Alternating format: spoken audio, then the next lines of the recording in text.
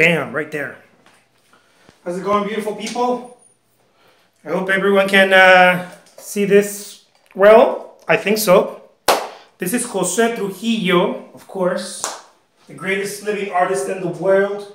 Today I want to talk to you guys about something, something, uh, something very simple. It's just composition and art.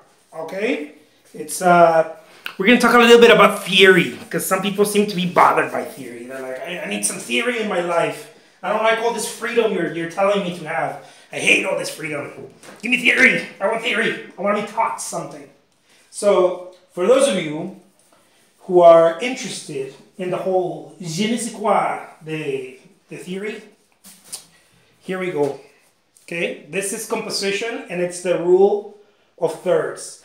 I, I, I even hate the freaking name, the rule, the rule, you know, because we, we're artists, we're rule breakers, ah, whatever, you know. But but I guess you know there's a there's a rule to be followed. So so uh, uh, it's it, it just you know the, the, the, I'm not even gonna go into why they call it the rule. I guess I will. Let me go into it.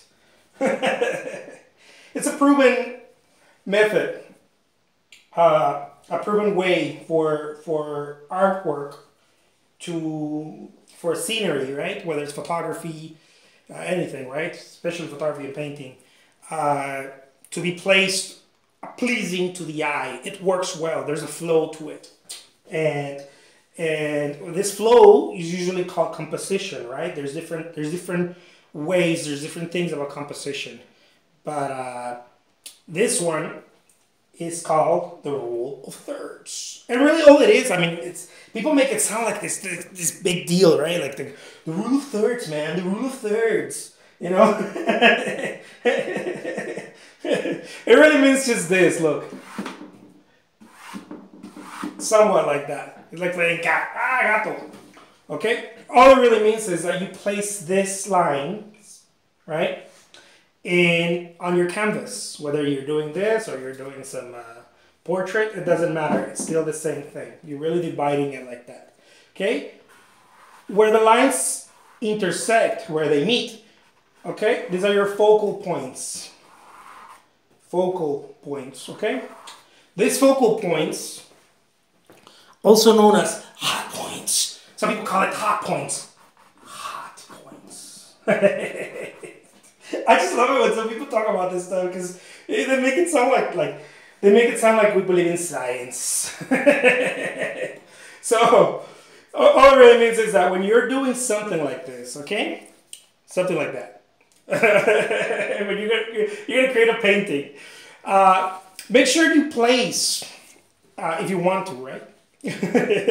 make sure you place uh, important uh, objects or, or forms in the painting uh, that land, they don't have to land in all four. They can, they don't, you know, you, they, they can only land in one if you want to. They can land in all four. Picasso was really good at making them land in, in multiples. Uh, but then again, you know, I don't know if the cat was really trying at some point. Who knows? But let's say that you're going to make a landscape, right? Well, you have your first one right here. Look, let's say, okay? It doesn't always have to be like that, right? But you can make the main tree right here. You know? You see what I mean? You get my, you get my, what is it called? My drift, I think people say. Yeah, my drift. Okay? So this would be one. Bam! See? And the vertical line. See, it touches both right here. Well, it really just, it's touching the vertical line, right? Right here. And this right here, it doesn't have to be right, right there. Right here, there could be a moon right here or the sun. You know, it doesn't have to be right in the place. Of course not, right? But it's just a, you know, or or or there could be a, a yeah, pretty cool like that. Look, a little landscape. You know. You can have some little mountains up here, but this is your prominent line, right? And this this is a, a clear example of the rule of thirds. I hope I make any made any sense with you guys. I think I'm, I'm, I'm, i make it very simple. The simple if if it can't be simple, then then don't bother with it. You know that's the way I see it. So there you go. This is composition following the magical rule of thirds. All it really means, guys, once again, it's just that when you're placing something, whether you're doing something like this or a portrait, make sure that's something. You know, if you're gonna do a portrait, here, let me let me do another one.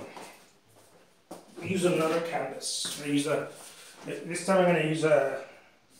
No, I'm gonna use the same size. Bear with me, you guys. You guys need to bear with me. Yeah, I'm gonna use a small one. Bam. Okay. So there it is. There's a little little canvas right there. So in, you imagine, right? Let's say you're gonna do a portrait now. Let's just imagine it, right? So you imagine whether it's a cameo, a bust, whatever. Uh, I'll talk to you guys. For those of you who don't know what that is, I'll talk to you guys about it. Um, in other videos, I used to be a portrait painter. I still am, I guess, but I used to do that only.